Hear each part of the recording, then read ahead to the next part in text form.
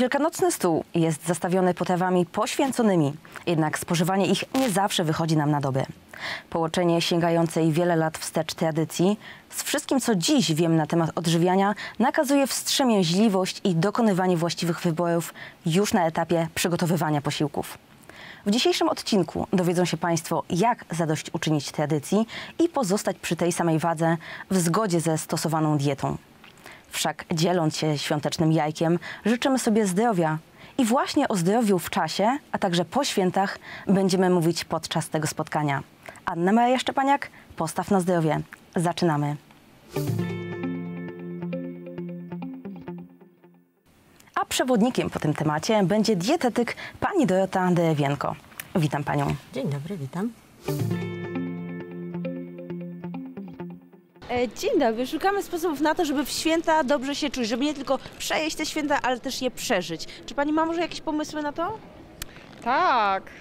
Przede wszystkim wyłączyć wszystkie telefony, e, wyłączyć telewizor, um, usiąść z bliskimi, e, zaakceptować tych, z których się nie do końca da, da żyć, e, zrozumieć ich, e, starać się być miłym, zmieniać temat, jeżeli rozmowa jest niewygodna i generalnie po prostu być. Czy zdarza się pani takie uczucie, że tuż po rozpoczęciu świąt y, już czuje się pani nie wiem, przejedzona i już nie ma siły Nie, da, na dalsze świętowanie? nie, nie dopuszczam takiej sytuacji. Za bardzo cenię swoje ciało. Święta się nie odchudza. Nie. Po świętach? Po świętach tak.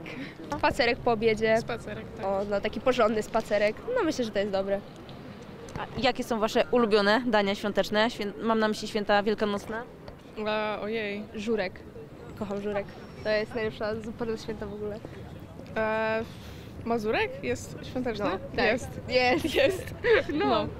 Hej. W święta się nie odchudzacie. Nie, święta to jest taki moment, że można jeść bez w ogóle żadnych tych skrupułów, bez żadnych, co nazywa? E, No, Wyrzutów sumienia. no wyrzutów sumienia, dokładnie. Robić mniej jedzenia, bo chyba mamy z tym problem, że robimy 10 dani i wpychamy to potem na siłę. Ja dla mnie to po prostu święta są po to, żeby dużo jeść i tyle. Żeby się nie przejeść? Nie jeść. Trzeba nie jeść. Wam się zdarza przejść w święta, czy nie? Zdarzy się, O, no. zdarzyło się chyba. Bywa, no jednak s- sama kontrola nie jest taka łatwa, jak się wydaje. mniej jeść. Warto się nie ograniczać z jedzeniem, ale myślę, że też trzeba się e, ruszać po prostu. E, żeby pamiętać o tym, żeby e, wstać jednak od stołu i się przejść na jakiś dłuższy spacer. Pani będzie aktywność fizyczna w święta? No liczę na to. Na pewno spacery polecam każdemu. Spacery dobrym też jest bieganie, żeby troszeczkę właśnie mm, poczuć się lepiej przede wszystkim. Pić więcej wody, żeby nie jeść, tylko być napitym?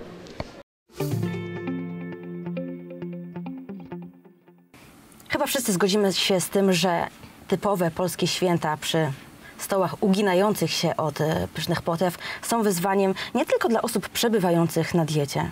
Co pani o tym sądzi? Y, To prawda. Y, Święta są takim bardzo wrażliwym momentem y, w procesie odchudzania, tak? I osoby, które są na diecie często mają obawy właśnie przed świętami. Omawiamy też różne właśnie z klientami te obawy, tak? I próbujemy złagodzić ten stres y, świąteczny właśnie przed większą ilością kalorii, właśnie przed ym, większymi porcjami. Czy pani zdaniem da się przeżyć święta, nie odmawiając sobie wszystkiego, co jest na stole? E, Na pewno możemy sobie pozwolić na troszeczkę więcej, natomiast e, musimy mieć na uwadze przede wszystkim kaloryczność posiłków, tego, że jednak one są zawsze bardziej tłuste e, niż te e, jedzone na co dzień, E, więc na pewno e, musimy troszeczkę sobie to przemyśleć, zaplanować, e, ale też pamiętajmy o tym, że na przykład kawałek pysznego ciasta, na które czekamy cały rok, e, myślę, że jest jak najbardziej jest do dozwolone. Oczywiście. I mówi nam to dietetyk. Tak. Dobrze, a co, na, na co pani zdaniem powinniśmy zwrócić szczególną uwagę? Czy może jest jakieś takie danie, czy może jakiś składnik, którego jednak Mhm. powinniśmy unikać? Znaczy na pewno powinniśmy unikać tłuszczów, e, szczególnie tych nasyconych, tak? tłustych potraw, e, tłustych mięs, sosów zabielanych mąką, prawda? To pani nam wymienia tutaj wszystko, co mamy na naszych stołach. No nieprawda. Są są jeszcze inne rzeczy, które też jemy, na przykład właśnie jajka, tak, które są e, bardzo fajnym źródłem białka, e, ale też mają bardzo dużo witamin, więc e, wpływają też e, korzystnie na nasze zdrowie. Zatrzymajmy się może wobec tego na chwilę przy jajkach, y, ponieważ no, to są takie święta typowo związane z, z jajkami właśnie. I jajkiem się dzielimy i tych jajek spożywamy dużo więcej niż y, być może na co dzień. Mm, Jak to jest z tym jajkiem? Jeść, nie jeść, ile możemy jeść? Jak słyszymy jajko, to często przypomina nam się cholesterol. Czy to jest ten właściwy, niewłaściwy? No dużo pytań związanych z jajkiem. Czy może nam Pani więcej powiedzieć na temat tego, czym jest jajko i na ile sobie możemy tutaj pozwolić ze spożywaniem jajek? Znaczy, jeżeli chodzi o jajka, one się wcześniej cieszyły dosyć. em, nie były takie popularne, tak? I, i troszeczkę ten cholesterol, em, który one zawierają, niestety e, też ten e, niedobry. E, Trochę zniesławiły jajka, tak? Natomiast e, tego cholesterolu nie jest aż tak dużo e, w tych Tego jajkach. złego, Tego tak? złego, tak. Natomiast właśnie jest dużo różnych innych e, dobrych składników, e, które pozytywnie wpływają na nasze zdrowie, więc e, tych jajek nie powinniśmy unikać. No chyba, że jesteśmy, na przykład mamy wysoki cholesterol. Tak, no to wiadomo, że wtedy mm, tak do trzech żółtek, bo żółtko tak naprawdę zawiera ten cholesterol, tygodniowo e, nie więcej powinniśmy spożywać. Natomiast jeżeli chodzi o takiego zdrowego człowieka, no to tak około dwóch jajek e, dziennie możemy e, zjeść. Dwa jajka dziennie to już jest, można powiedzieć, taka przyzwoita ilość. Dokładnie. Ile kalorii ma jedno jajko? W zależności od e, wielkości jajka, tak? bo jajka mają różną klasę wielkości. E, więc e, to zależy od tej wielkości i jajko może mieć od e, 70 nawet do 100, 100 e, kilokalorii. E, Tak, ale też e, jajko zawiera oprócz tego cholesterolu i żółtka białko, e, a białko jajka jest białkiem e, takim wzorcowym, tak? E, Ten e, skład aminokwasów jest najbardziej, najlepiej przyswajalny dla naszego organizmu, więc e, Myślę, że to przewyższa wartość e, właśnie e, tego cholesterolu w, e, w jajku. Powiedziała Pani, że jajko to jest, taka boga, to jest takie bogactwo, można powiedzieć e, bomba witaminowa, składnikowa. Mm, Niektórzy mówią, że to jest w ogóle wzorcowe jedzenie, wzorcowy posiłek. Ale też są, jest wiele sposobów na przygotowywanie jajek. I moje pytanie, jak przygotować jajko, żeby jak najwięcej z tego, co jest cenne dla nas, zachować? No bo wiadomo, możemy jajko smażyć na głębokim oleju, możemy zjeść jajecznicę, możemy e, jajko w, ugotować na miękko na przykład. Jak, co zaleca dietetyk w tej kwestii? Jeżeli chodzi o obróbkę jajka, to ym, im krócej y, właśnie ta obróbka y, następuje, tym y, to jajko zachowuje więcej wartości odżywczych. Tak? Y, ja jako dietetyk zalecam y, raczej y, gotowanie. E, I to też e, na miękko, bo wtedy tych wartości właśnie e, jest najwięcej. Smażenie też jest oczywiście dopuszczalne, ale też, żeby to na przykład, jeżeli to jest jajecznica, to żeby była taka lekko raczej ścięta niż mocno, bo wtedy jednak te wartości odżywcze się mm, ulatniają, tak? No i na pewno też smażenie właśnie na takich e, tłuszczach, e, też e, smażenie, wysoka temperatura, tak, powoduje wytwarzanie się tłuszczów trans, więc, więc też ważne jest na czym smażymy, tak.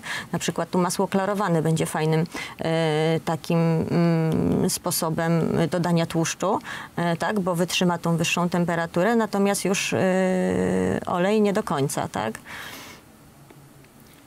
Jesteśmy już po śniadaniu wielkanocnym. Można powiedzieć w czasie świąt, ale jeszcze duża część, e, wiele posiłków przed nami. Mm, Być może jeszcze będziemy przygotowywać jakieś potrawy. Czy ma Pani jakieś pomysły na to, jak możemy odchudzić nasze dania? Mm, Jeżeli chodzi o te e, śniadaniowe, no to na pewno ja unikałabym żurku na śniadanie. E, Bardzo często właśnie w gabinecie pojawia się taka sugestia od klientów, że już ten żurek jest jedzony na śniadanie, więc ja bym tutaj raczej to pozostawiła na e, ten posiłek obiadowy. A jeśli już ktoś zjadł e, żurek na śniadanie, być może ktoś, kto nas ogląda właśnie taką potrawę zjadł, to żeby sobie odmówił jej na obiad. Dokładnie, tak, tak, tak. To na pewno e, też pomoże, ale też zjedzenie takiego mocno tłustego posiłku na śniadanie będzie obciążające bardzo dla naszego e, żołądka i możemy czuć się właśnie ciężko. M, taka już niestrawność od samego rana może się pojawić, więc no, na pewno to nie będzie dla nas komfortowe. Jakieś inne sposoby na to, tak jak powiedziałam, żeby te dania, żeby cieszyć się oczywiście. Mhm. To znaczy, jeżeli chodzi o jajka- posiłku, ale nie przesadzić z kaloriami. Mhm. No to jeżeli chodzi o jajka, na pewno y, unikałabym majonezu, czyli takiego właśnie mm, bardzo tradycyjnego dodatku do jajek. Majonez, to jest ten składnik, unikać go. E, raczej tak, raczej tak. Ym, Są, jest wiele różnych zamienników e, właśnie takiego tradycyjnego majonezu. Mm, Możemy na przykład postawić na chrzan. E, Chrzan jest bardzo fajnym e, takim produktem, który też zawiera dużo e, minerałów, witamin, ale też powoduje zwiększenie wydzielania soków trawiennych, więc też Czyli coś poprawia wskazanego. trawienie. Tak, jak najbardziej. Zresztą w święta te, mm, tego chrzanu używamy i do, do zupy, prawda? Właśnie też możemy do jajek czy jakichś sosów chrzanowych. Mm, Też fajnym zamiennikiem majonezu e, może być e, na przykład e, majonez, ale zrobiony własnoręcznie, na przykład z fasoli. Tak? Dobrze, że Pani o tym mówi, bo wiem, że dla wielu osób święta bez majonezu Może to być takie- ciężko. Może być ciężko. Czy mogłam nam Pani przybliżyć ten majonez z fasoli? Może jakieś Mhm. szczegóły? To jest taki, jak się domyślam, majonez, który możemy przygotować sami w domu. Dokładnie. Mhm. To jest majonez właśnie na bazie fasoli e, białej, e, więc będzie i też kolorem e, bardzo przypominał ten tradycyjny majonez.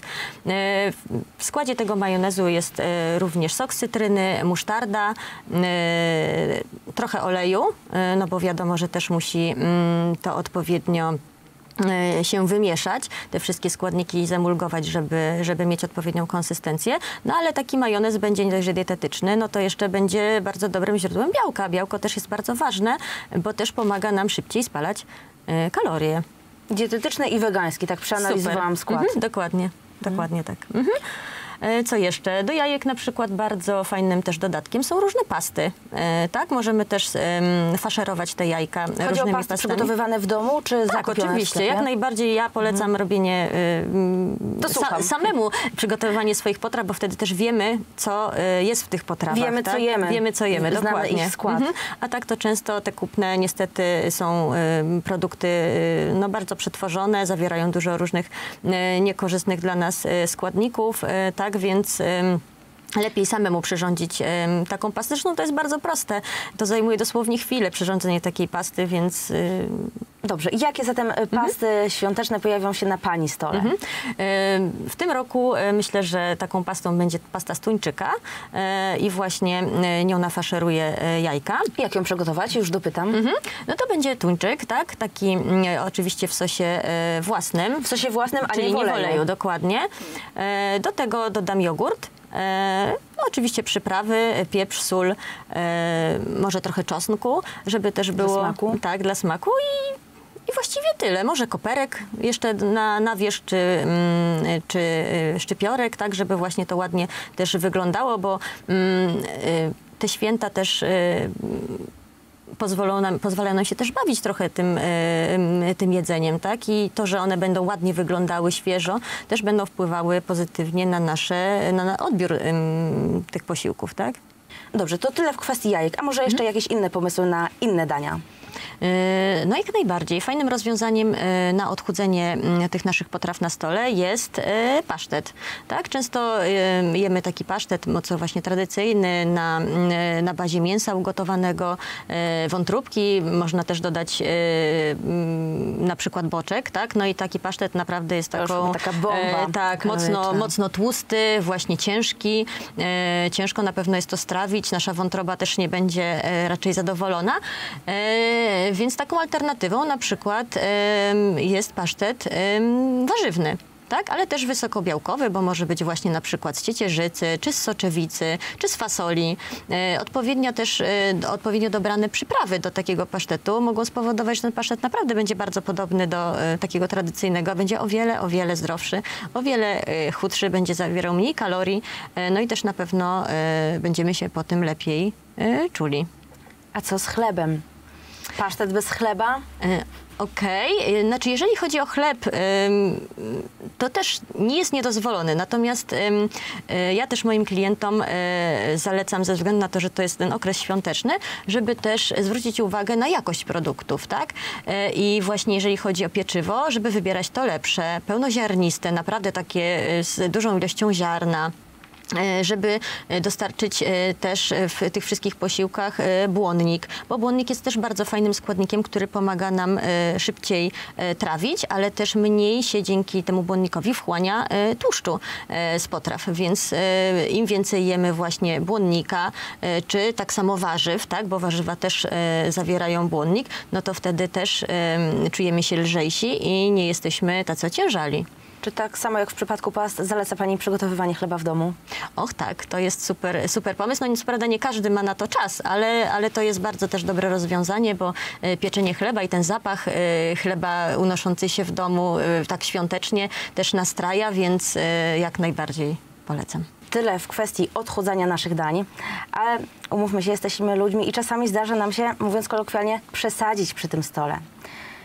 Co, co powinniśmy zrobić, co możemy zrobić, kiedy już właśnie jesteśmy po posiłku, czuj- czujemy, że zjedliśmy go za dużo? Co zaleca dietetyk w takiej sytuacji? Okej, to się no, zdarza, że jednak e, ta kaloryczność tych posiłków jest jednak za duża. E, Czasami się, czasami się kusimy na właśnie trochę więcej ze względu na ten okres świąteczny. E, No i te ciasta, świąteczne tak, jed- ciasta. Dokładnie, jeden kawałek ciasta więcej lub nawet pół blachy ciasta więcej, więc e, Niektórzy no, tu na dużo pokus. ciasto Mhm. cały rok. Dokładnie, no Albo ja też. od poprzednich świąt.